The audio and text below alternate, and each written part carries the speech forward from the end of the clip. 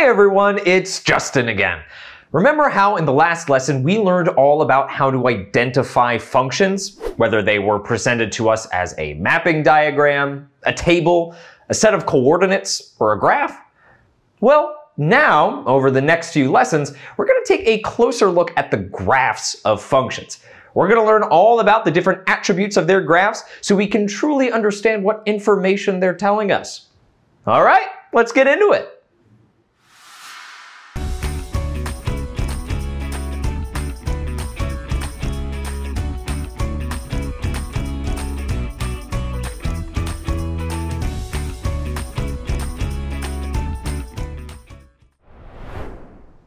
Now, I've recently developed a passion for long distance running, and I decided it was high time to invest in a quality pair of running shoes. So I make my way to the nearest sports outlet, and the walls are lined with an overwhelming variety of running shoes. And as I was waiting for the store associate to bring in a few pairs in my size, my mind started wandering. How many people buy each shoe size? That information would probably be super helpful for the shop owner so they could decide how many shoes of each size to stock for the store. Have too little and you'll run out, but have too many and you're stuck with a lot of leftover product. Huh. Here's a graph of shoe sales by size for the previous year at the store I was at.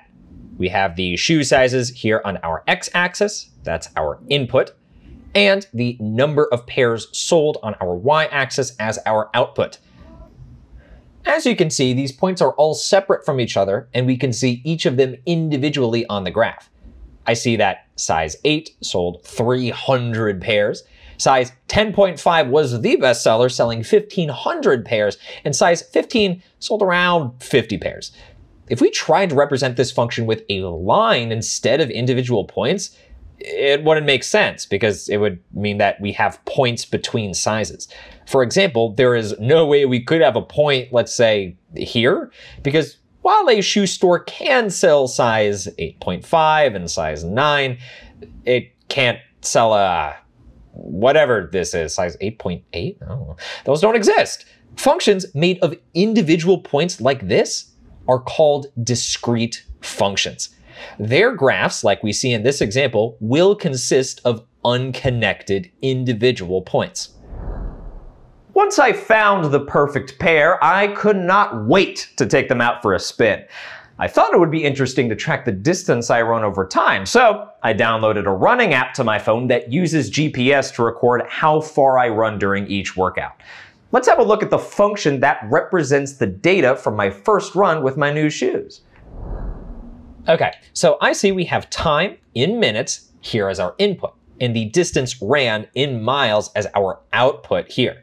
But this function looks a little different than the one we previously saw. And that's because time, unlike shoe sizes, does not jump from one value to the next in distinct steps. Instead, it increases gradually and smoothly throughout the day.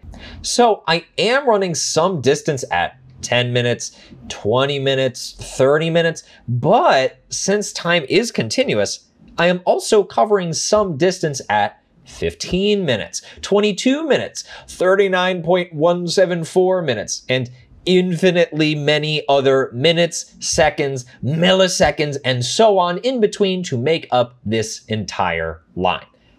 Functions like this are called continuous functions. Their graphs will consist of a single unbroken line or curve like you see here. Here are the graphs of two more functions. Take a look at the different points that are graphed. Remember, these are all the solutions to the function. Can you determine which of these functions is discrete and which is continuous?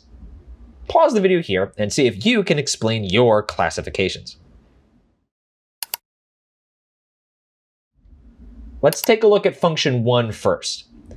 After analyzing, we know that this is a continuous function because this function is represented by a single unbroken line as opposed to unconnected individual points.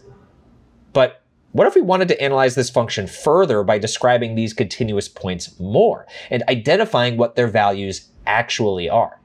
Well, another word to describe inputs in math is domain. the domain of a function is the set of x values or inputs of our function. So take a look at our graph function. What are all of the possible inputs or x values? Well, let's see if we start looking at where x is 0 and then look at the positive x values. We could see that every x value here is a valid input. But we know that this graph keeps going on forever and ever to bigger and bigger positive x values because of this arrow. So the x values of the function will also keep going.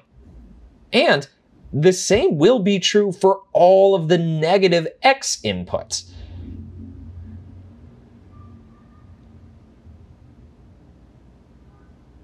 In this case, we can say the domain is all real numbers because every x value is a valid input in this function. We can also use this fancy r to represent all real numbers. On the other hand, the word used to describe the outputs in math is range. The range of a function is the set of y values, or outputs of our function. What do you think the range of this function is? What are all of the possible outputs for this function? The range here is also all real numbers because every y value is a valid output extending both up and down for infinity. Now let's analyze function 2. This is a discrete function. We know that because this function is represented by a graph that consists of unconnected individual points. Pause the video here and see if you can take this analysis further by determining the domain and range of this function. Hmm. Well, the domain of this function can't be all real numbers because every x value is not a valid input here. The only valid inputs of this function are negative 3, negative 2, negative 1, 0, 1, 2, and 3. We can write these values as our domain using curly brackets, which represents a set, which is just a list or collection of individual numbers. Now, as for the range, we want to find all of the possible outputs for this function. So let's see. If we input 1, for example, we get 4. If we input 2, we also get 4. If we input negative 3, we, uh, we still get 4. Well, it looks like 4 is my only possible output for this function. Again, we can use curly brackets to represent the set of values for our range. In this case, it's just 4. Since discrete functions consist of unconnected individual points, their domain and range will usually be a set of individual values, like we just saw in this example. However, this is not the case for continuous functions, whose domain and range will be an infinite set of values like all real numbers. Now, that's a set of numbers that we can't possibly write out one by one in a list. Let's take everything we've learned so far about analyzing functions and apply it to two example problems. This example problem is asking you to analyze the function to determine whether it is continuous or discrete, and to define the domain and range. Pause the video now and try this in your PDF. Then come back here to see how you did.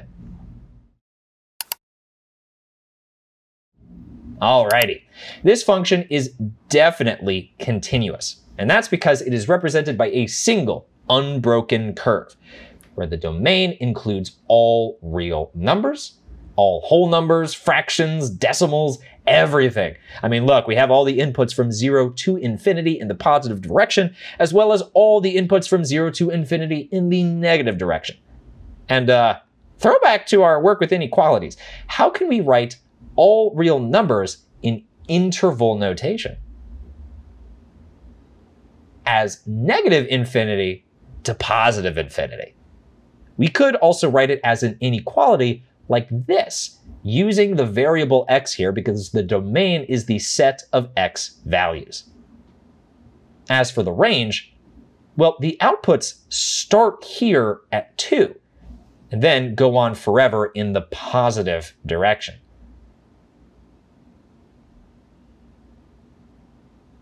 This means that the range includes all the real numbers from 2 to positive infinity. We can write this in interval notation as all the real numbers from 2 to infinity. 2 is included, so we have a closed bracket here, and infinity goes on forever, and it's more of a concept than an actual number than we could include. So we use a parenthesis here. We could also write it as an inequality like this. We have the variable y because range is the set of y values. And don't forget, the less than or equal to sign is here since we are including 2.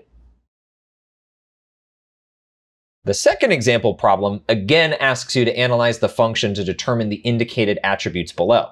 But before you start, let's have a closer look at this function. Notice that this function does not have arrows on either end. Instead, we have endpoints. One open circle endpoint and one closed circle endpoint. What did this mean in regards to our solutions? Which one includes the value at that point into our solution, and which one does not? Hmm. Pause the video now and give this a go in your PDF. Then come back so we can go over it together.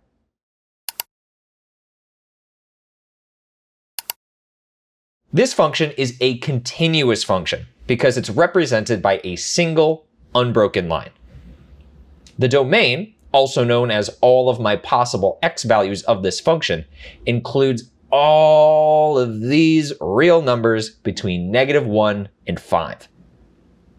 Now, is negative 1 included in our solution or no? No, because the endpoint is not shaded, it's an open circle. So we have a curved bracket here. Is 5 included in our solution? Yes, because the endpoint is shaded. It's a closed circle, so we have a square bracket here. And we can write this as an inequality like so. As for the range, also known as all of my possible y values of the function, it includes all of these real numbers between negative 2 and 6. And because of our given endpoints, the range does not include negative 2, but it will include 6. Nice work! Let's summarize what we've learned so far on analyzing the graphs of functions. Firstly, you can determine if a function is discrete or continuous. The graphs of discrete functions consist of unconnected individual points, while the graphs of continuous functions consist of a single unbroken line or curve. And secondly, you can determine the function's domain and range, where the domain is the set of x values or inputs and the range is the set of y values or outputs. Now, when it comes to discrete functions, the domain and range will usually be a set of individual values written as a set with curly brackets, whereas the domain and range of continuous functions will be an infinite set of values. Great work today! Now, once you're done watching this video and you've completed the guided notes, let's do a little bit more analyzing with the additional practice found in your PDF. Then when you're ready, go ahead and complete the online practice game. All right, I'm off for another run with my brand new shoes, but I will see you next time.